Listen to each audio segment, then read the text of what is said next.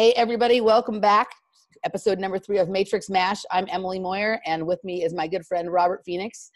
And we have to do more Kavanaugh nonsense. Robert, how you doing? I'm great, and of course, we're joined by Jasper. You say hi, Jasper. To everybody. Jasper, the media cat. Hey, it's great to be back, Emily. And uh, Sorry You know- you missed last week, guys, but there was lots of news to pay attention to and lots of things going on. So we're back. And there's a lot more news to sort of accrue for the news cycle, and Yeah. uh, more pieces to dissect. And if you're, if the only way you're not hearing about Christine Blasey Ford and and uh, Brett Kavanaugh is if you're living under a rock, a black rock. Oh, that's a hint to where we're taking this tonight. So dropping in a little early. You see, that's called predictive programming. Yeah. That's what's going on here. We the game within the game, you got you got to pay attention. So there's a ton going on, and the whole theater on Friday was absolutely and utterly bizarre. So just to get people kind of up to speed in in the moment, right? On Friday, they brought Christine Blasey Ford in from California to sit before the Senate Judiciary Committee and that's where the vetting was taking place for Brett Kavanaugh. They were going to vote for Brett Kavanaugh to be nominated so he could go to the Senate floor. Okay, that's a whole other process now. And what took place during that time is unlike anything I've ever seen. It was one of the most bizarre events that um, I've witnessed. It was really, truly, utterly strange. So we were greeted by Christine Blasey Ford, who was, for all intents and purposes, about a 12 year old girl. It was so weird. I mean, everybody commented that number one, she sounded like a little girl, Mhm. she looked like a little girl. Um, it was it was completely resonant with what I think you and I would consider her programming. Yep. So uh, again, uh, just to give people some background, uh, Christine Blasey Ford has really deep CIA uh, family connections, FBI family connections, uh, banking connections. She is a classic kind of blue blood a girl from Washington D.C. who is probably brought in at some level uh, perhaps even maybe against her will when we look at her background. And there's a very strong possibility that what we were watching on Friday was full on MK Ultra trigger trauma programming. Mhm. Now, when she talks about not remembering how she got to a party, who she was with at a party, um, how she got home, where the party was, or what the date was, that may actually be true Mhm. she may not be lying. That she may not remember these things for uh, for the reason that she could have been programmed during that time, Yep. or she could have even been programmed after the fact. Yep. So we're we're on very tenuous and very shaky ground here. Yep. As a witness, clearly she was shaky. I I, I read the uh, uh, that was who's is it Rachel Mitchell, the woman who was yeah. Who questioned her? yeah. Yeah. And basically, she came up with at least 10 bullet points which disqualify her as a credible witness. And she's probably, you know, everybody's got an affiliation. You're either a Republican or a Democrat, or you're, you know, you're somewhere in that mix. And she's a Republican, but she says this is not a, a bipartisan issue. And I watched her and I thought she was very fair in a lot of ways with Christine Blasey Ford. Although she did get her to admit that she's got this, you know, basically phony travel phobia, Right. and and, uh, and that was actually pretty, I think, good, clever uh, on her part. So this is kind of where we are now. There was that strange scene where Jeff Flake does this weird theater and gets up and goes and finds his buddy Coons, who's sitting over on the Democratic side, says, Come on, let's go. And then they go through those mirror doors that they have, which are it's very strange. Right. Right? Yeah. yeah. And there's actually an interesting geometric shape, like a like a square. I don't know if you noticed that in the background. And then there's the number eight Uh, that's there. Very interesting. Right. Okay. So they go through there, and you know, There- this was during the hearing. I wasn't watching the hearing. I watched select clips after. This was You- during the hearing. That's right. During the hearing, so all the Democrats leave. They Mirrored walls mean a lot symbolically with uh, trauma-based mind control. You want to talk a little more about that? Yeah, I mean, so what this is, a lot of this is starting to sound like to me, ha- like reminds me of, you know, what the original sort of forward-facing story about MK Ultra was, was that they would use this, they would send uh, prostitutes in to drug men, and they would be behind double fa- double paned mirrors, right?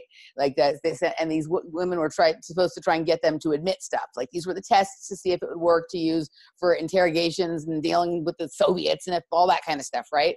I mean, that is a part of MK Ultra, but that's like the part that, like, you know, that's the forward-facing part that everybody now knows about, right? So there's that, but also when you said double mirror, in fact, I was just having this conversation with somebody was either this morning or yesterday morning that you know shattered mirrors or even mirrors like if they're like tiled mirrors mirrors where there's like you'll see multiple images of yourself right? That is a huge part of of you know trauma based mind control. It's part of alters it's separate it's seeing different versions of yourself. Trying to think right now what the eight imposed on that could mean i mean like heck, obviously there's like the possibility of infinity there's 88 programming there's all kinds of stuff. I don't know what it means in this sense but i do find there to be some level of significance and even i'm wondering what i mean what is the condition of jeff flake and this Coons guy right? Were they triggered to like go in the elevator and you know, like I, what is going on? Well, it was just Flake in the elevator. right okay. And and then what happens with Flake is he gets harangued by these two young women who are on the elevator and a third who happens to be a, a big activist from Queens. hmm Where, where did we hear about Queens? right Serena Williams. serena williams right she's the queen of queens That's right. We could talk a little bit more. I had some insight into that too. okay me we too i get into- we can get into that a little bit. Um, so he, you know, it's the down elevator, and, and there's that sort of reference to Prince, and right there's purple involved, and well weren't they all wearing purple ties too and that was were. the purple and the purple rain, the purple rain, the purple revolution, the purple Right. Niagara Falls, America is falling, right? That's like, right. yeah, Yeah. there's all sort. I mean, there. It's almost like, just to quote you from the other night, they're kitchen sinking it. Yeah, they are Abs- absolutely, and uh, a- and they're showing us that this is George Soros's purple revolution. Mm-hmm. This is the color revolution where we've seen like the you know the the, the orchid revolution the rose revolution. We've seen all these different colors. This is the purple revolution. Yeah. A- and it is um it's certainly um, symbolic and a sign that that that's that's what's going on. So he comes back out of that elevator visibly shaken and comes back through the double mirror doors. And then he has his little moment with Coons, and then that's when they decide that they're going to. Oh, have, so that happened after the elevator. yes, Okay, I got you. yes. Um, so they did that, and it's all a complete and utter stagecraft. Mm-hmm. They were going to do this regardless. This is where Yeah. this was headed. It wasn't as if Jeff Koons had a moment. It was all staged. All that was Yeah. staged. The cameras were there, right? How are the cameras there? And how is it like this? Is, and this is where I go into like the cameras, and this is where I go into like how controlled is everything? Are we in a simulation? How can it be that his name is Flake? That's like Anthony's last name being Wiener, right? Like that's like right? Like it's just like it's very interesting. Right. Right. And also one of Brett Kavanaugh's best friends and somebody who's considered kind of a key witness with all this is Mark Judge. Right. Mark Right. the Judge. Yeah. Mark the judge. Bizarre stuff. Utterly bizarre stuff. So that was just that was just a, a little bit of theater. Yeah. So, because they were going to take well, this to the FBI no matter what. Blasey Ford, right? And Blasey Ford, Blasey like a fire Ford theater, right? Like all this kind of like what it, they're really kitchen sinking it. It really, they really are. Like it's all Mm-hmm. these, you know, all this terminology, all these words, all these names, all these colors, all this symbology. Like what is this? And you know, Yeah. you know, but you know what this is, you know, and I, I mentioned this to you the other day, and I think this is a huge part of it. We've we're, you and I were just talking before we came on the air about how there's always multiple reasons for stuff, right? Hey guys, what happened to Russian collusion? Anybody remember that? This has become such a shit show so quickly, and this is going to go on for so long and get to such a deep and crazy level, right? That by the time it's over, the Mueller probe will be dissolved, and nobody will ever remember that there was Russian collusion. The media can just skip along like they never wasted two years of our time talking about that. Right. Absolutely. Okay, so I want to bring up this image um, that's inside the Senate Judiciary.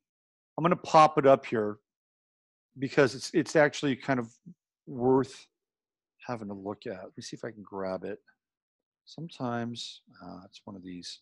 All right, let me do a screen grab here. Hold on one second. Um, but it's worth. It's definitely worth. Oh, come on. Me doing this thing with just had it. Um, give me one second. Okay, one of the things. Well, I'm scuffling to try to find this.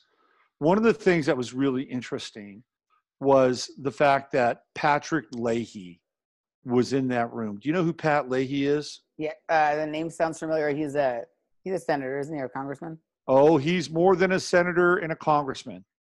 He is way more than a. So let me just grab this image here, and then I'll, I'll be able to connect some dots. Give me one sec. Here we go. All right, so I'm going to do a little share screen with you so people can check this out. And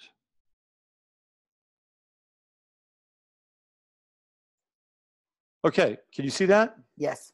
This is the Senate Judiciary.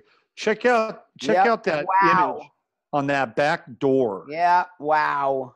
Okay, so we have three squares.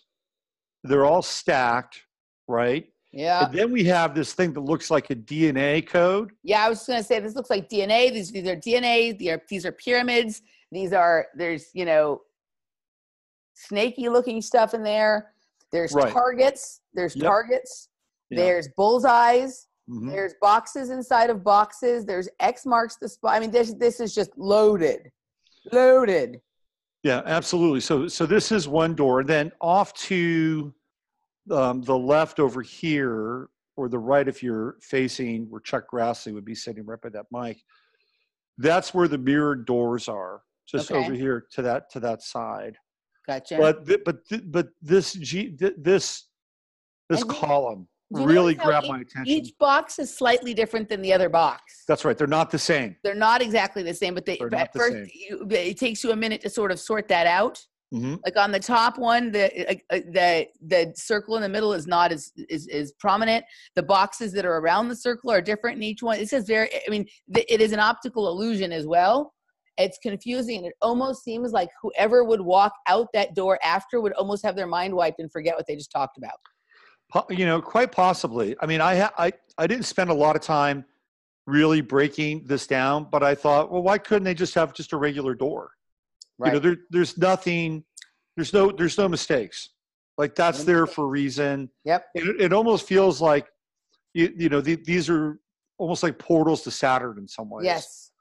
Because because we're going to wind up talking a little bit about saturn and saturn is the hypercube and you- we have like these hypercubes Those are hypercubes right there. right there that are stacked, right? Yeah. Um, and the judiciary chamber is it is a it is a chamber of Saturn because because this is where It's all about judgment, order, law, uh, and order and law time and order, and judgment. judgment and time. Ex- Exactly, absolutely. So anyway, I thought that that would be something that people would find interesting, just from a, a visual perspective. Yep. Um, so one of the things that I wanted to read, What were you going to say about Pat Leahy? well, that's what I want to read. Okay. Okay.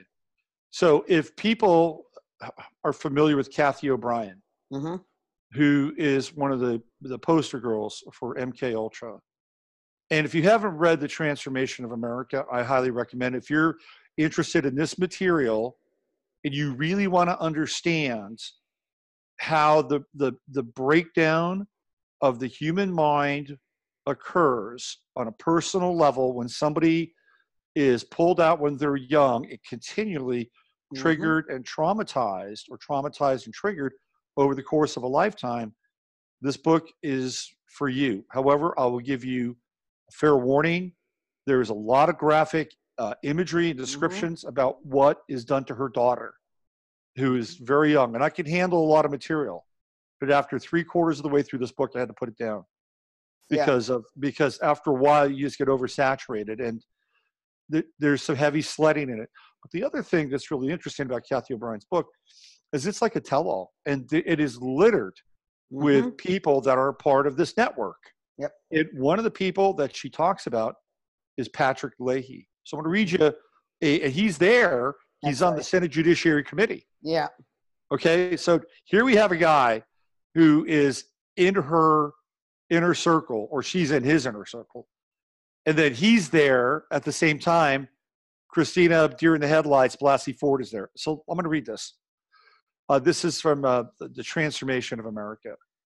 God condones that one, Leahy said, referring both to my role in NAFTA and his pedophile abuse of my daughter.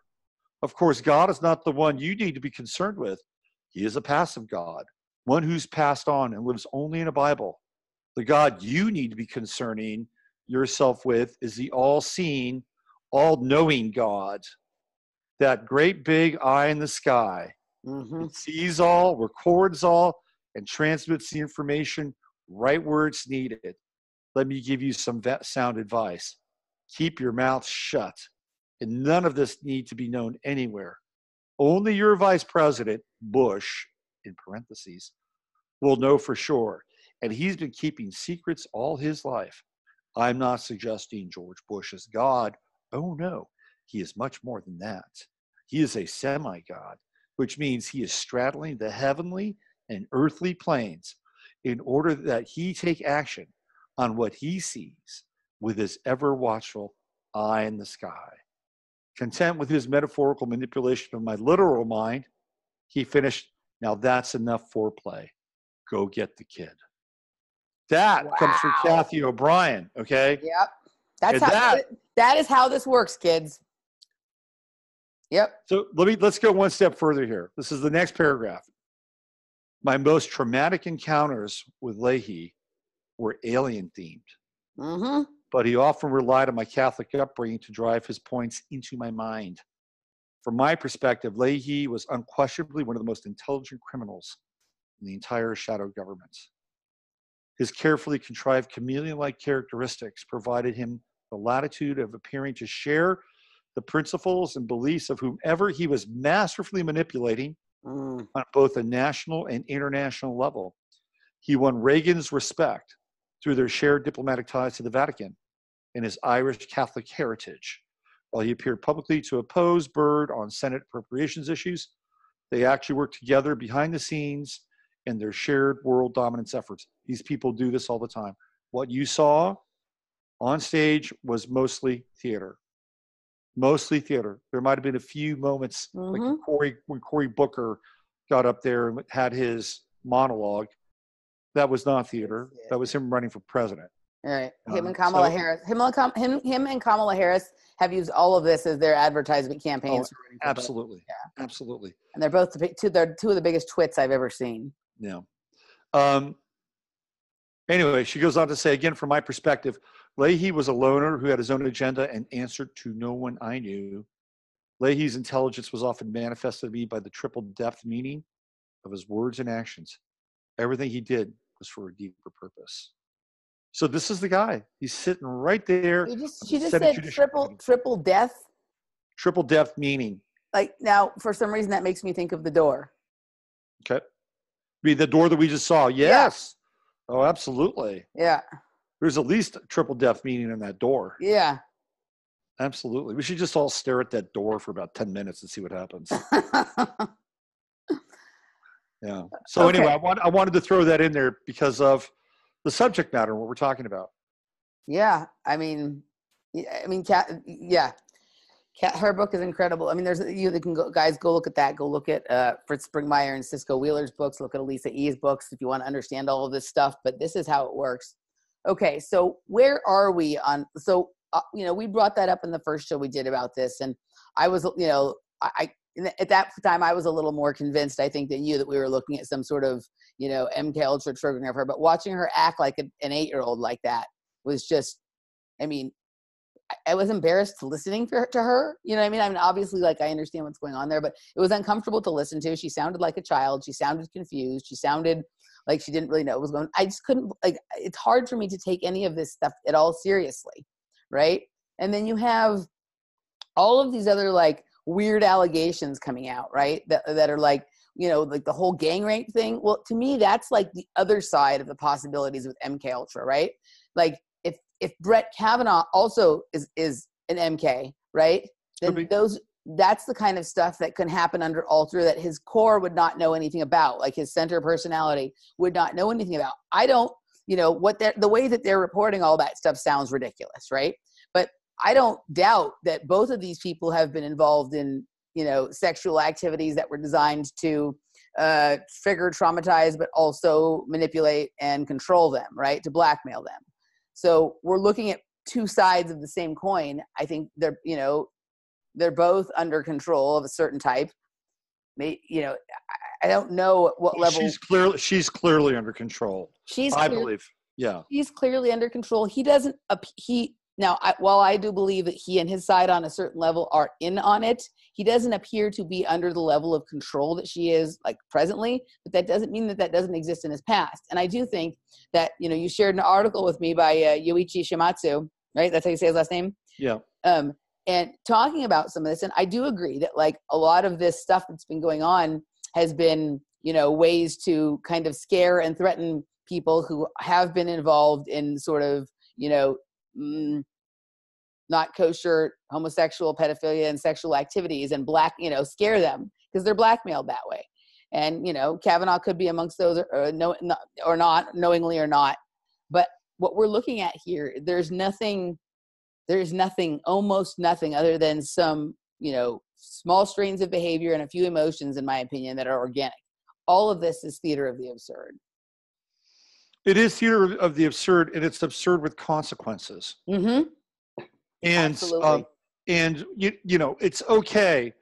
And look I, I share a very strong belief with you about decentralization and moving away from th- this massive system that you know based on the federal reserve and the military industrial complex the central banks. It really is a series of chains around us in a lot of ways.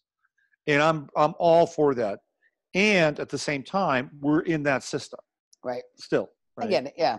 Yeah so i think i have to pay a little homage to this this what we're seeing here which is unlike anything i've ever seen before. And and i think it's supposed to be. this is the craziest thing i've ever seen. And, and this is way crazier than anything i've ever seen from the government before. Way crazier. Yeah so we're this is full tilt boogie and you know when when they're on full tilt boogie that they're they're going for it. That you know the the idea here is ultimately to crash the system. Right. You know, and Trump is playing his role in crashing the system, mm-hmm. whether it's an active role or um, a byproduct of his astrological chart, him being an agent of chaos. Right. So this is what's going on. It's an attempt to crash the system, just like um, at the end of uh, Fight Club, right? Yes. The system, system collapses. Yeah. So so there so I think there's a lot of this going on. Mm-hmm. And um, oh, by the way, I don't know if you saw uh, Steve Bannon's interview with uh, Bill Maher the other I night. Wa- I did watch a little bit of it. Yeah. Bannon had some interesting things to say. I mean, he said that if that if uh, the Democrats get in, that Trump will be impeached. I mean, he was unequivocal. Yeah, he said that. I heard that. Yeah. It was unequivocal, and and there was like a people didn't know what to think. There was kind of a round of applause. They're like, "What? He's saying this?" You know? I mean, Bannon's an interesting character. I mean, he's a populist. Yep. And I don't think he's tied to anybody. Like he's like, you know, no. cozying up to Michael Avenatti now, which no, Bannon is only interested in Bannon. Well, it's Bannon plus this idea of the populist movement. Like he's really tied into right.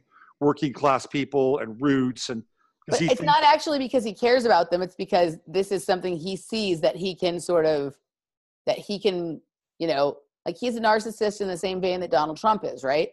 And so this is something that he can do or manipulate or control and then be, oh, look, see how wonderful he is. Well, the difference between Bannon and Trump is um, the the difference in their astrological signs. Ah, Trump is a Gemini, so he's going to be clever. You know, he thinks he's smarter than everybody else on, on kind of a day to day level, um, but he's not really into big ideas. Trump is not a big, big idea person. Mhm. Bannon, however, is. Bannon is a Sagittarius, so mhm. he's guided by an overall philosophy.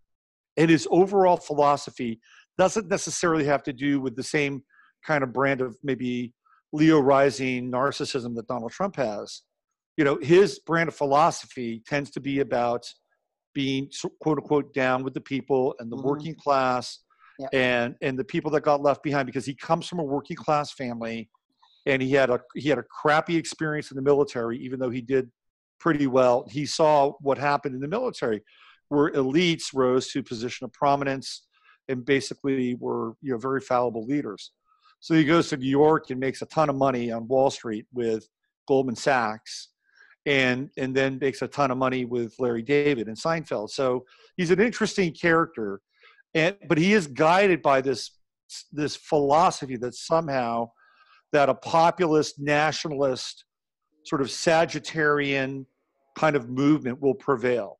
And, Yeah. and that I think he differs from Trump. And I actually believe that he believes in that. Mhm. I- I don't think it's some aggrandizement of his of his um, But do you think it's actually because he cares about the people, or because he just believes that this is what will work, and that, and so he wants to attach himself to something that will work? I th- uh, well, if he wanted to attach himself to something that would work, he'd be a globalist, and he's Okay. not. Yeah. And when I say something that would work, I mean that's where the prevailing trends are theoretically headed, right? Get Right. rid of the borders. You know, who wants to be part of a you know kind of ugly, regressive, nationalist state? So he's picking a cause that is unpopular. yeah, Um, but I I believe popular and unpopular. I yeah, yeah. yeah, but I I believe that that that is his guiding philosophical principle. Mhm. And there there are Democrats who are actually shocked at times by his willingness to kind of reach out because he remembers the way the Democratic Party used to be. Used to be right. He probably so- used to be a Democrat. Oh, I more than likely, Yeah, you know. But when when the Democrats abandoned the working class and moved their countries over companies overseas, or companies got moved overseas and they were complicit with the unions and stuff like that, I think he saw the writing on the wall and was like, "Hold on, there there are these groups of people that need to be represented. They're underrepresented, and maybe just maybe I can rally them." right. So I think that's where we didn't. I wasn't planning on going there, but I but I think that's Steve Bannon's, and he's a very bright guy. he's very bright. There's no doubt about that. He's yeah, super bright, and he, by the way, he's looking better. You can tell he stopped drinking. yeah. He's not. His face isn't so red anymore. He doesn't have the gin blossoms blooming on his face. so getting back to what we were talking about, which is kind of where we are now, the whole thing with the FBI and the investigation, that was a done deal. That was going to happen. You know, this this was all theater with Flake and Coons and all that stuff. So now there, the, the, the latest allegations are that he was a hard partier, that he drank a lot in college. hmm So, do you want to talk a little bit more about the Shimatsu thing? Because Yeah, I, I will- I got some points I want to attach to that. So, why don't you go ahead and drop into the Shimatsu piece? Okay, real quickly though, before, mm, well, maybe we'll come back to this after. Well, we'll drop into the Shimatsu. I want to make sure we hit this. Okay, so you sent me this uh, article by Yoichi Shimatsu, and um, I always pull something different from his articles and probably what he's intending. But there's one segment of the article that says a BlackRock connection, right? And so, and actually now come, I just had another thought about this. So the CIA investment fund BlackRock, created by you know is is is part of this, right? The Christine Blasey Ford's dad is connected to that, right? Well, what else is BlackRock? BlackRock is the desert in Nevada where Burning Man is, right? And so, which is also CIA linked, also Stanford Research Institute linked. But this fund has had a prime investor, been a prime investor also in SunTrust Bank, which makes me think solar cult, Burning Man. But this is also about burning men, right? This is about now having new witch trials in which men are burnt at the stakes, right? That's Um, right. But so if you look into this, so I'm just going to read this paragraph. The CIA linked investment fund, BlackRock, created by former Commerce Secretary Peter Peterson, is a, which is an interesting name, Yeah, right? Peter. Peterson is a major shareholder behind Corcept Therapeutics, interesting, and has also been the prime investor in SunTrust Bank, the successor to National Savings and Trust, where Christine, Christine's father, Richard G. Blasey Jr., served as a vice president in charge of financing the agency's undercover operations. Burning Man. Among his many financial beneficiaries was psychiatry professor Frederick Melges, who was in charge of establishing MK Ultra at the Stanford Medical School. Melges's area of research was a depersonalization and reinvention of personality, introducing a focus on a new future. In short, transformation. Burning Man, right? Everybody who goes to Burning Man has you know like they just they have this transformation where they come back and they're a new person and they're reinvented. The funny thing is is they're all reinvented as the same person and at least in what i've been able to sort of see right? So the, in a short a transformation as in how a directionless david webb became an objective targeted jason bourne. So here we are completely dealing with you know MK Ultra stuff, right? And I just lost the thought that I had about something a second ago. But we're talking about BlackRock Fund. We're talking about Black Rock Desert. All of this kind of stuff. You've talked about Burning Man, Wicker Man, the burning of men, right? And That's right. This yep. is like a modern day reenactment of the Salem witch trials, but with men, right? And mm-hmm. if I understand this correctly, I, have not gotten a chance to watch it, but I really think I should. Jan Irvin did a bunch of, you know, there are problems with Jan Irvin, I know, but um, he had a, a, series on the Salem witch trials and how they sort of connected to certain MK Ultra and stuff like that, right? So mm-hmm. what are we? I mean, we what are we looking at here? What is this? What is going on? Well, I mean, I think it's happening in a multitude of of levels. Right. Clearly, Christine Blasey Ford is an inside girl. I know what I was just inside thinking. Woman. Go ahead. Burning Man just happened right before all this stuff broke loose. So was Burning Man, did they perform the ritual that would then set this thing loose? Burning Man was just at the end of August. Mm-hmm. Yeah. And then all of this has happened since then, right? And the Burning Man theme, I think, this year was iRobot. I haven't heard too much about what went on there this year because I just have been completely out of it. Mm-hmm. Um, but it occurred literally. I bet you if we went and tracked when Burning Man occurred and when all this Kavanaugh nonsense started, I bet you there'd be a pretty tight connection. Um, yeah. So Burning Man happens in the first week of September. Last week of August, first week of September, right? Yeah. Yeah. Okay. And I think that's when she might have been in contact with Feinstein.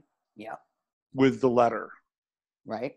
Okay. Um, so yeah, I, I mean, I think that the the Orphic rites or the, the sacrifice of uh, the Wicker Man's Anthony Bourdain, which mm-hmm. gets into hashtag Me Too. Mm-hmm. And there's like just a few degrees of separation between Alyssa Milano, who was right on mm-hmm. uh, Brett Kavanaugh's right shoulder the whole time. Right. And the connection between her and Shannen Doherty and Rose McGowan, who play witches mm-hmm. on the uh, the old TV series Charmed. Right. So here we have this witch theme: Alyssa Milano, Rose McGowan, Rose McGowan, Asia Argento, Anthony Bourdain, who I believe is really the Wicker Man for the hashtag Me Too movement. The he is one version of the sacrifice. Right, and then there's Burning Man, which is like a full celebration of it, right?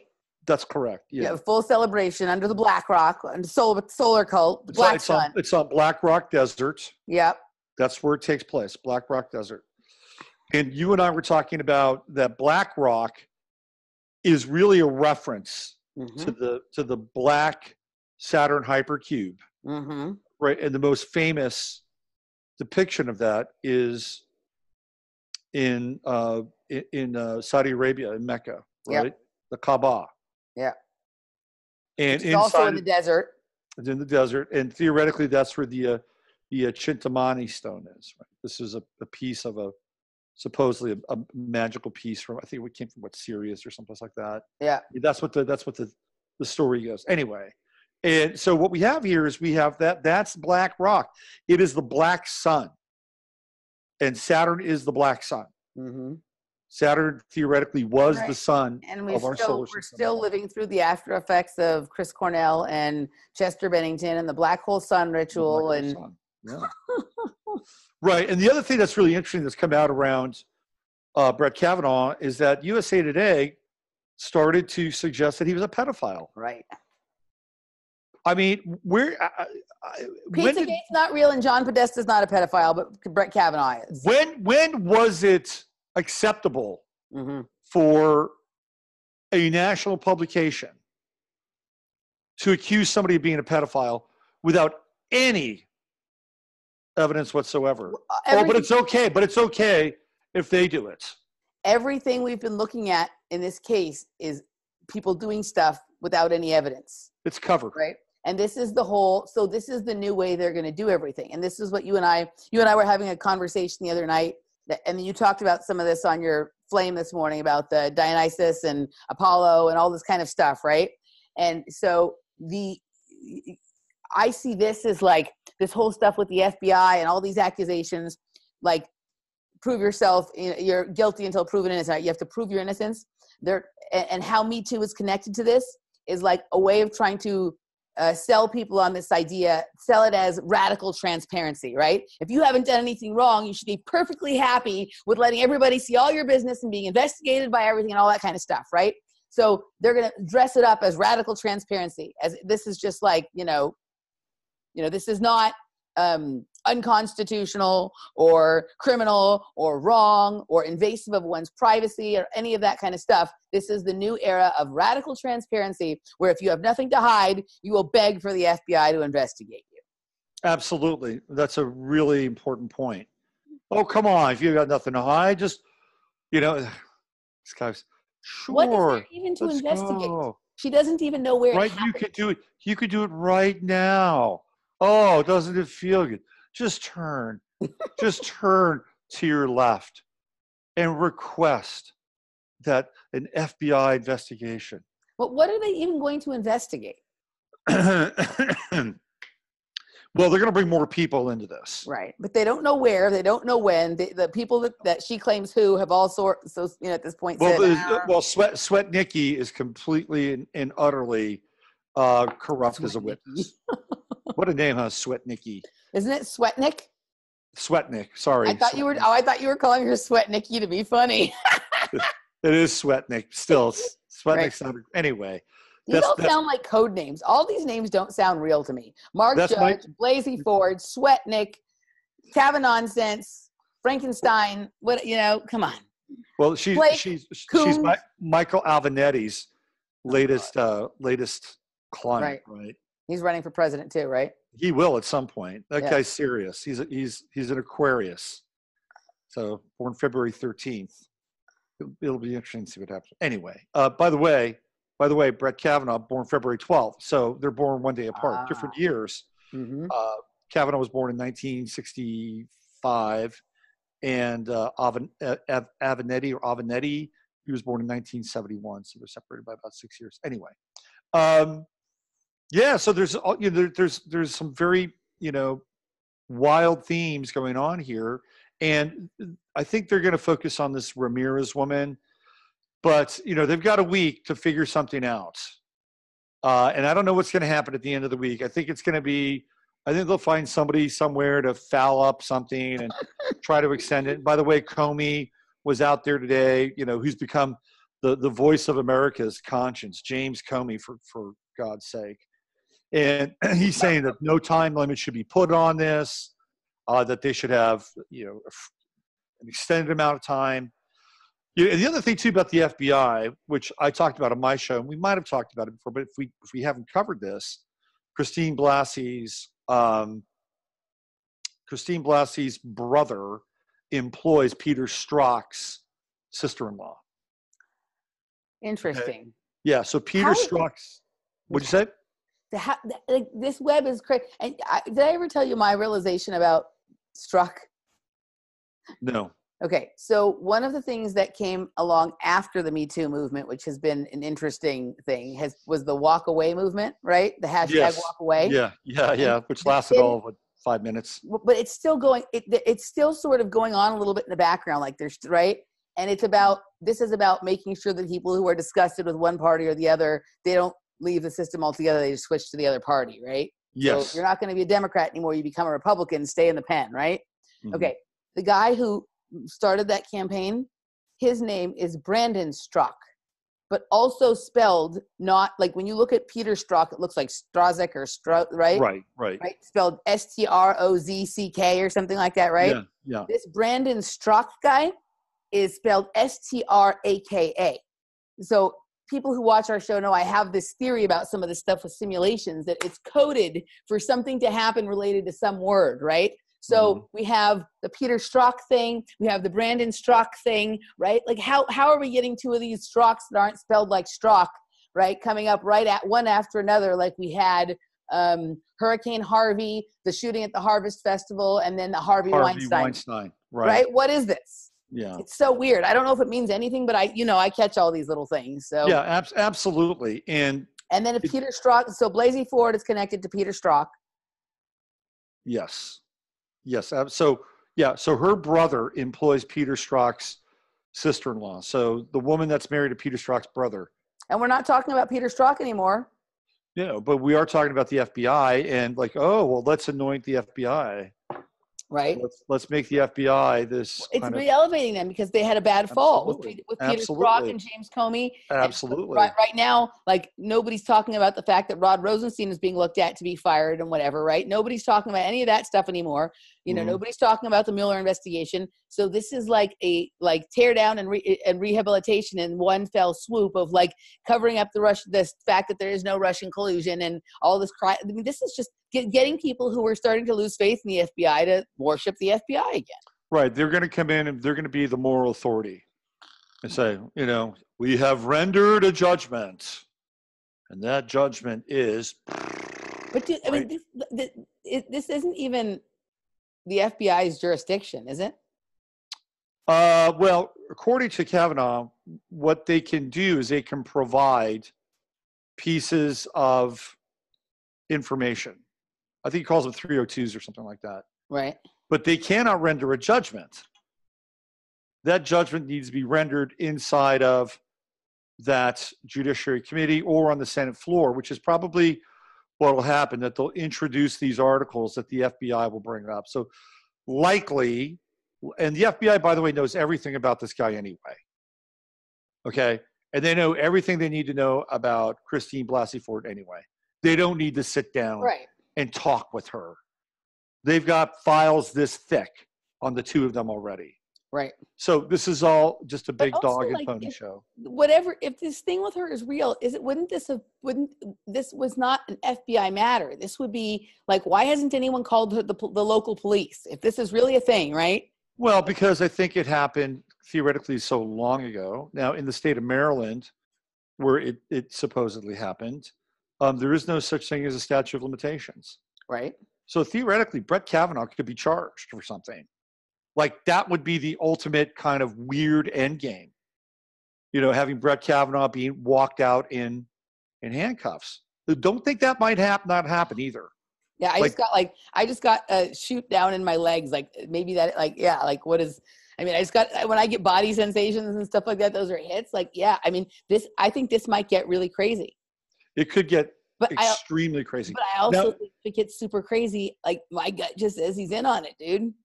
I don't know if he's completely in on it. I don't. I don't feel that. I Like he was way- in on it in the beginning and it's gone somewhere that he didn't expect. the way that he a lot the way that he presented himself emotionally Right? he wanted to fucking kill somebody Right. And Well, if, if you, thought you were doing one thing and then that you if you thought you were playing one role and then they flipped it on you in the middle, you'd be super pissed, right? well possibly but even the the, the terms and conditions which was tarring and fe- his feathering his family and dragging them through the mud probably got him super pissed too. I mean i think i don't think the man is a complete and utter sociopath. Um but then again i don't really know him. He does you know i mean he's got weird connections Mm-hmm. especially with his wife and the bush family Mm-hmm. i mean his wife has worked for the bush family since they were here in texas Yep. and um, she was a personal assistant to George W. Bush and was part of that Bush Cheney campaign. You want to talk Cathy O'Brien? Hello. Right. I mean, I was gonna say, is it just all, all of these connections that you're able like to me, this is just like if we get nothing else from this, this is all of the evidence that this needs to be dissolved. Right? It This certainly needs to be down. needs to be well. If we take it down, then we better have something better in Right. place. And quite frankly, we don't. Right. So I'm all for doing something different, Yeah. but I'm not going to take it down and hand it over to the military, no. and I'm not going to take it down and hand it over to the, you know, the the you know the the left. The UN or the left or Or the. I, I'm just not ready to surrender either. whatever this is. But, I, but to me, what the, to me, what I say when I mean dissolve or take it down, I don't necessarily mean a formal process. What I mean is like this is when people need to stop their belief in the authority of government, right? Because that's that part I of totally agree with. Yes. that's part of why the government is able to get away with it because the people believe in its authority. If the people Right. stop paying so much attention to it, right? If people just stop, like, like part of it is just even like how much attention is being paid to this nonsense, right? They have everybody's mind captured, and so if people stop, I mean, you know, if people stop, people get mad at me because I don't vote, right? But part of the reason that I don't vote, it's like writing letters to Santa Claus when you don't believe in it, right? You know, if people stop voting, then at a certain point, that you know, it's, it's you know, they would make it up. If people stop voting, they would make it up. they would. They could, you could ask a person, "Did you vote? No. Did you vote? No. Did you vote? No." You know, they'd have a and they'd have a record turnout. you might be right about that, but Yeah, I, I- think that I think that they'd figured that one out. I think what people have to stop doing is they they've got to take at least three weeks and stop doing anything. That's well, that's that's always been my thing. Like even like uh, the idea of if everybody just stayed in their house, didn't go out, didn't spend money, didn't do any of that kind of stuff for a week, two weeks, three weeks, the system would fall because the system only runs on the energy of the fact that people believe in it. Believe in it. You get thirty percent of the population just shutting it down for three Yep. weeks, I'll, I'll- I'm in. and they they would they would come knocking, begging, "Please come back." Yeah. please come back. It's like when you're Yeah. off Facebook for a week. Hey, did you see so and so posted? Right. Uh, so yeah, I I mean we're, we're- there was something. I, I- there was there was a place I was going with this. I'm sorry. Uh. No, it's it's okay. I mean, all right. So one of the things that we're seeing here from an astrological perspective, I want to bring a little astrology in. Yes, please. um, is that right now we're in this really new and initiatory phase of Chiron and Aries. And Aries represents male energy, right? It's masculine, it's ruled by Mars. Venus, on the other hand, is ruled by Venus, even though it is technically, well, it, it is technically, um, uh, well, on the one side, Venus in Taurus is feminine. Venus in Libra is actually it's still feminine, but it's air, it's masculine. But just for the sake of, you know, sort of gender dispensation, right? Aries Exactly. male, Aries male, Venus female. So we have Aries, Chiron, which is known as the wounded healer. And Chiron here, I'm going to bring Chiron into this too. Okay. Chiron is the wounded healer, right? And uh, Chiron is a he's a he's a centaur, and as he was the daughter of Philyra and Kronos, and he's part he's eternal because his father was Kronos. He's a god. Came down to earth, appeared as a white stallion, mated with a nymph from the ocean. Boom, you get you get a centaur. You get the most Mhm. uh, brilliant, intelligent, cultured centaur. The centaurs were yahoos. Mhm. Right? They were they were all you know half horse, half human. They couldn't figure out you know how to do a lot of stuff, right? But but Chiron was very gifted. He was schooled by both Apollo and Artemis, so he knew what was going on. Okay, so um, uh, Chiron also represents our wound in Mhm. astrology because what happens with with Chiron is once his mother Philyra sees him, she rejects him completely out of shame. So Chiron has to deal with shame. Hmm. It has to deal with shame. And so when we have Chiron in our charts, what we do is we work over the course of our lifetime to heal this kind of original sin in our lives, which is shame. And it's in different signs for different people. Okay, so we're in Chiron and Aries now. It's at the first degree. It's so it's very fresh. We just went into this. We went into Chiron and Aries back in March, late March. And when that happened, it signaled the the sort of this collective theater of the wounded male. Mhm. Okay, so what did we see not long after that? The death of Anthony Bourdain. Mhm. So we see Bourdain's death, the wounded male. Yep. Now we're seeing Brett Kavanaugh, right? The wounded male. All and all Who all of these seem to have people. been- who seems to have been a who seems to have had a fairly good life, and so his wound is now, right? To some extent, I think so. Yeah. I think so. But when we get into the you know into this collective theater, people sometimes become symbols. Yeah, right? so he's They're the- not, uh, not art- even yeah. who they are anymore. Yeah. right. So now he becomes this target of this of the flawed and wounded male. Now, one of the things that I talked about today on my show, and you, t- you and I talked about yesterday, was this notion of Dionysus. Right. And Dionysus being the god of what? Alcohol. And Mhm. what what what is Brett Kavanaugh under the microscope of? Drunk. Alcohol, Yep. drunkenness. He Bo- likes beer. He Bob likes Daly. beer. I like beer. Like Yeah. beer. Right. So this is what's under the microscope. And by the way, we are in the season right now of Bacchus and Dionysus. This is the time of the harvest. Okay. So we are in Dionysus season. Right. And what happens with Dionysus? Dionysus is torn asunder by the Furies because of you know his betrayal to, the Furies. Right, he's torn apart, and this is what we were we were initiated into the cult of Dionysus in the 1960s. hmm That's what part of MK Ultra was about. Totally. Okay, and we had and we had the Lizard King. sex, drugs, music, alcohol, decadence, Absolutely, uh, like mind blowing experiences, all that kind of stuff. absolutely, and Brett Kavanaugh was born right in the middle of the 1960s, 1965, which is the year of the snake or the year of the serpent. hmm Right. So he is now this Dionysic figure, and I couldn't even think of a less Dionysic figure, by the way, than Brett Kavanaugh. The guy is white and uptight.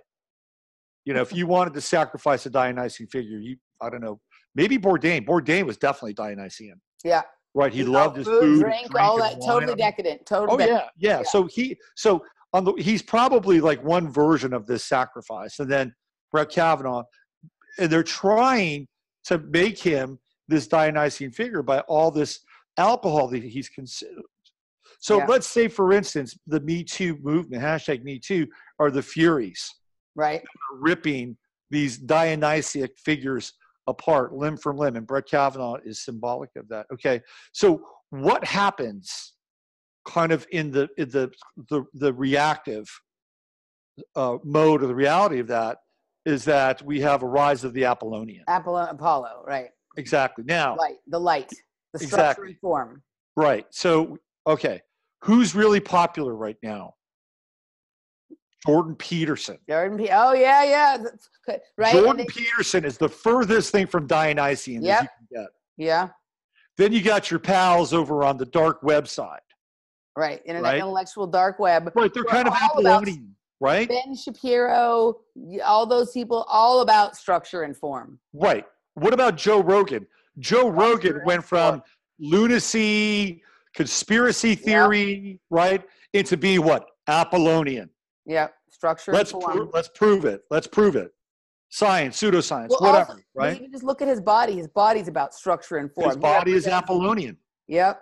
Okay, so we are in the throes of this culture change. Where now. does okay? Just out of just curious, because it's just popping into my head. Jordan Peterson is also into this um, carnivore diet, right? So all he eats is meat, salt, and water. right? Right? Talk about structure and form. Yeah. Right? Talk about like. I mean, that's like the complete opposite. You know, I'm saying people think meat is murder or whatever. Meat is decadent, but like this is a guy who does meat, salt, and water. Right? There's no decadence to that whatsoever. Hmm He claims that if he eats any eats anything other than that or drinks anything other than that, he becomes ill. Right? So it's so interesting. Like he really is representing structure and form in in in all sorts of ways. I mean, his first chapter of his book is stand up straight with your shoulders back. Second That's chapter right. is clean your room. That's right. That's Apollo. Yeah. Yeah. That's Apollo. So we're moving now. This to me, hashtag me too, now moves into the realm of the archetypal. yep. And while it is not a bad thing to be Apollonian, and I think it's part of a, a long kind of overdue phase and cycle, the extended adolescence I just thought of something else too. from from the 60s to the mid 2000s. What'd you think of? Joe Rogan didn't. He used to believe the moon land, the Apollo moon missions were fake, and now he believes they're real. There you go. Ha! How about that? There you go. The Dionysian to the Apollonian. You know, Yep. okay, the clear light of reason. yep. So Wow. one of the things that's um, interesting about this also right is that there's now uh, this shift away from and, and rogan's kind of kind of uh, symbolic of the or emblematic of it the moving away from conspiracy theory Right. and into okay the cold light of reason gotta prove it but there's but there's it's not just well you know throw your ideas out into the marketplace and let's see if they stack it's it's more of of, of a uh, mm, a frontal assault on them in some ways right? Yeah. and uh and i think even like the difference between obama and trump represents obama is dionysian right? That's what he represents. He represents a lot of things but mostly this figure that emerges from the imagination um, there was delirium like you know when you saw trump there wasn't delirium but like there was delirium at the obama events Mm-hmm. like there were women wetting their pants at the obama events okay Well, people That's were not- crying like they do at Michael Jackson. They would do at Michael Jackson concerts and fainting and stuff like that. Remember the women? yeah they were doing that i mean so it was delirium so it was like Dion, he was dionysian remember, Trump they, remember they would show that like they were actually triggering those fainting women in the audience. Remember those videos that showed that? Yeah. Yeah, yeah, yeah. Yeah. That's that's delirium. Yeah. So that's what he represented. And, and, and he's like the end of, of that cycle now. And, and Trump, who's a Leo rising, Mm-hmm. which is the sun, right? You go up to the top of Trump Tower, it is the Temple of Apollo. Mm-hmm. So a lot of this has to do with the fact that that there is this this Apollonian consciousness that is now beginning to assert itself.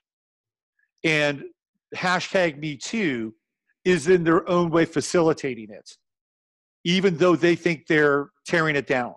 Right. They are not. They are not. right.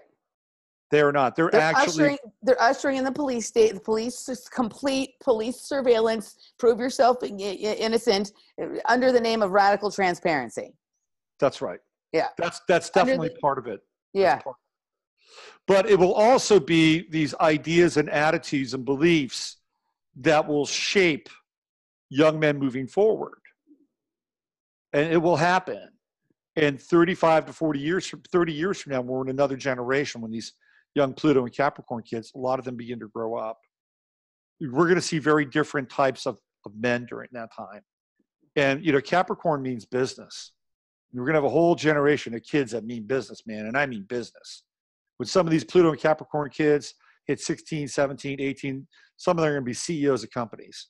I I, I, kid you not. So they're not going to have sex anymore because they're going to be afraid. So they're going to focus on something else. That, well, that's that's part of it. Capricorn is about ascent. Mm-hmm.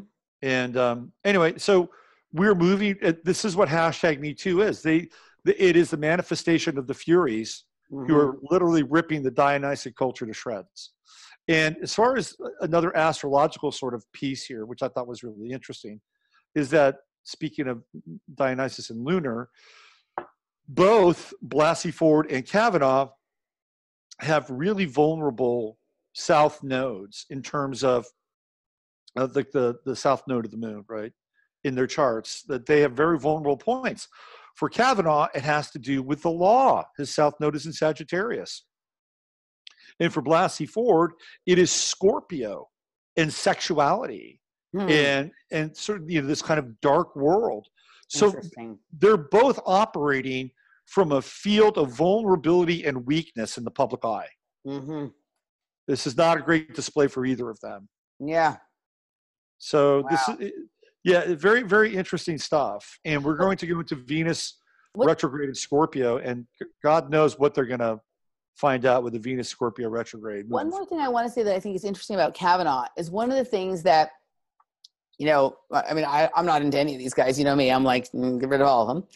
He's not great on the Fourth Amendment, right? He's he, like he like he's you know he thinks it's okay to surveil people and all that kind of stuff. He also thinks the indefinite detention part of the NDAA is okay and stuff like that. You know, people should talk about that instead of this stuff. but he hasn't been great on privacy, and now his privacy is being invaded. South Node in Sagittarius. Yeah. You know, Sagittarius is one of those signs where do as I say, not as I do. Yep. So in some ways, even though this is completely abhorrent, not appropriate in any way, it is interesting that you know a little bit reap what he sowed here. a little bit, a little Yeah. bit. I, I'd agree with that. I mean, um, this is a guy that theoretically helped cover up the Vince Foster affair. Yeah, I, I keep hearing you talk, say he's connected to Vince Foster, but I think I missed where you may have gone into that and explained that more clearly. I wasn't aware of that. The Vince Foster thing has got so many threads to it, but Yeah, it does have a lot of threads I'll to have it. to hear what you said. What you said about that because I keep keep hearing you mention that. Uh, and also apparently, and I haven't tracked this down, but um, apparently he he he's connected to the Patriot Act as well. That he might have been somebody who advised on the Patriot Act I'm sure. was consulted. I mean, it's, that's probably yeah. I, would- I Well, if he if he likes the NDAA and he doesn't believe in privacy, then that is. I mean, the NDAA is the next obvious extension of the Patriot Act, no, right? abs- absolutely, So- absolutely. Yeah, but the the pro. I mean, if you're going to get into this process and you're going to frag somebody, um, go after those things right. because those things are meaningful. Yeah. Like They're that's worthwhile. that and that's something that like right and left could have the, the people on the right or at least the honest ones may have been like oh you know what you know at least all these libertarians and constitutionalists and people who are afraid of the things obama did if you brought this stuff up about again about kavanaugh that that might have been something you could have gotten them to go along with you on right Like, Yeah, but but the Patriot Act is inviolate. It's like a sacred cow. but they love that shit Yeah. Oh, absolutely, because surveillance and all that yeah. makes makes people feel safe and secure, and they get lots of money and appropriation money, and they flown around the world and all yeah. kinds of junkets, all these surveillance companies, and you get to go to Israel and get blackmailed, and you know, it's great fun. right Great fun. bel- Believing Yeah. in the Patriot Act. Yeah. So, so I mean, that's really where I think that the that the real injustice to the American people is taking place. yeah It's not it's not the dog and pony show. The dog and pony show is interesting right uh, to some degree, but there's a lot. There there are other things that are that are much deeper. That um, and maybe not that much deeper. We have to dig too much to find them. That's what we should be talking about. yeah we're not. We're not. It's so interesting her connections to like the pharmaceutical industry as well, and the uh, ab- the morning after abortion pill and all this kind of stuff, and um, and the way that that ties in. You know, we're talking about sexual assault, and then we're talking about morning after pill, and people are you know afraid that he might uh, you know do something with Roe versus Wade and make abortion more difficult. So it's so there's just so many levels to this. It's kind of unbelievable. So I just want to read a paragraph from the uh, Shimatsu piece. Yes, please. and this is about the the abortion connection. Uh, Blasey Ford is now employed at Corcept Therapeutics. Right. What does A that word? What does corcept mean? It sounds like Forcept and or uh, cortical cor- your cortex frontal like, right i mean i'm going to look Yeah. up what corcept means Cortex and Cor- and uh, Forcept. I'm anyway, Corcept Corcept. Therapeutics, a pharmaceutical company with a disturbing record of ethical violations, including insider trading with Stanford and Silicon Valley. Its most heavily promoted drugs include psychiatric agents and abortion pills. Her fast exit for embryos is a generic called Korlym, better known as Mif, uh, mifepristone, mifepristone, mifepristone, or mifepristone, or RU486, as in RU486 that little burden. First developed by Roussel in France and then cloned in China uh, to bail out a plethora of lawsuits over side effects, including vaginal bleeding and uterine cramps. The French producer gave the proprietary right to the Population Council, a Rockefeller funded NGO involved in legal genocide. An SEC investigation of Corcept's hidden ties with Stanford led to a steep fall in its stock market values since the start of 2018. To counter the share value tumble, the company has been attempting a sideways strategy of using Korlym as an anti hyperglycemia drug and also as an antidepressant. This magic cure all is the panacea that 86 is all your problems. All right. Now, is it any wonder that Christine Blasey Ford is being put in front of the Senate for a sneak promotion of her abortion pill? Question mark. And there's one more. Chrissy's husband, Russell Ford, by strange coincidence, also works for pharmaceuticals as a mechanical engineer. Think of the big rolling machines that make pills and presses that close capsules, including Abbott, the RU486 in India, and Zosano Macroflux, which produces non needle injection devices for vaccine campaigns, Mm-hmm. like the health boosting campaign sponsored, sponsored under the Bill and Melinda Gates Foundation Global Population Extermination Strategy. So she's got deep ties. Deep ties. Now listen to this. I just looked up corcept. There is no definition for the word corcept, Mhm. right? There's no definition. Uh, there's no etymology for that word either, right? So no definition, no etymology. And guess so Corcept Therapeutics Inc. is a pharmaceutical company engaged in the discovery, development, and commercialization of drugs for the treatment of severe metabolic, psychiatric, and oncologic disorders. Do you know where it is he- headquartered? Uh, Washington, D.C. No. Where? Me- Menlo Park. Men- Menlo Park. Menlo, right? Menlo, Menlo. Let's bring them down. How it. about that? Menlo, Menlo Park. This is about bringing down the men, right? Yeah. I mean, this. I can find one of those in everything. I'm sick, but like, you know what I mean? Like, but that's. I mean, I see that here. I'm just trying to see if there's, they have they have a, they have a code of ethics at Corcept Therapeutics. Um, but yeah, I mean, I think it's interesting that they make metabolic drugs too. Mm-hmm. metabolic, psychiatric, and oncologic disorders. It's very interesting. I don't. I Mhm. think SRI is located in Menlo Park. Yeah. You know that whole area is, is um, that's the like like um, the uh, birth control pill was basically created in the Bay Area, Mm-hmm. but but in order to get around the science, they went to Mexico, Mm-hmm. and and um, that's where they created the uh, the birth control pill. But it started Hmm. in the Bay Area, so interesting. Hmm, They do tests on glucose intolerance too. Interesting. Right, which gets into the anti-glycemia Right. piece Yeah. of Coralin. So Mhm. it's this whole the whole thing is kind of fascinating. Also, SRI. This ties back to just what I was saying about Burning Man earlier. SRI is also where a lot of this like um, development of like MIDI and stuff with electronic music, right? And the and the correlation of that with mind control has gone on. And so, of course, then you have Burning Man with you know completely based on electronic music and you know this the SRI is deep with all of this stuff. And of course, you know there's all, all sorts of drugs being used at Burning Man, not just you know I, at this point, I'm sure they're experimenting with all sorts of, you know, weird off market designer pharmaceuticals and stuff like that. And it wouldn't be surprise me if some of this was being provided by companies like Corcept. Could be. Tested out. on- It- it- it- that that story about the MIDI reminds me of this time when I was living in uh, California. Mhm. And I was in my I was in my mid twenties. I was trying to find myself and find find an appropriate kind of channel and you know with stuff that I could do well with. And Mhm.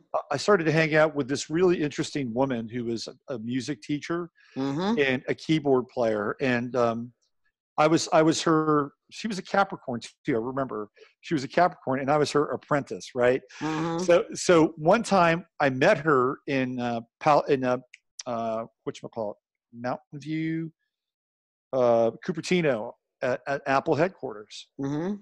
and this was in mid '80s, and she went in and she demonstrated MIDI to Mhm. the to the people at Apple Aha. right so you know i thought wow this is really really fascinating because i was i was kind of there on, on the front lines watching this whole midi thing go down but the the most interesting story with with her was that she had this band called girlfriend Mhm. and and um, they were based out of marin county Mhm. and and the guys that were putting this band together were this was this guy Narada Michael Walden and Walter Afanasieff and Walter Walter and Michael wrote huge hits for Aretha Franklin and uh, Whitney Houston and uh, Mariah Carey. I mean, they were a big, big hit making machine at that point in time, and it was really it was really Walter.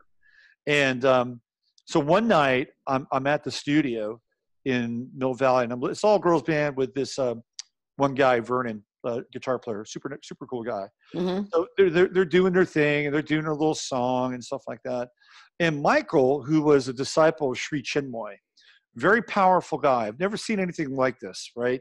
he walks into the room and, and listens and then he just starts like hitting them and doing this and doing this and doing this right and he's playing conductor in that moment and he physically moved the energy in that room Mm. and the band all of a sudden kicked into this whole other level and it Mhm. was like that was fucking impressive dude it was Yeah.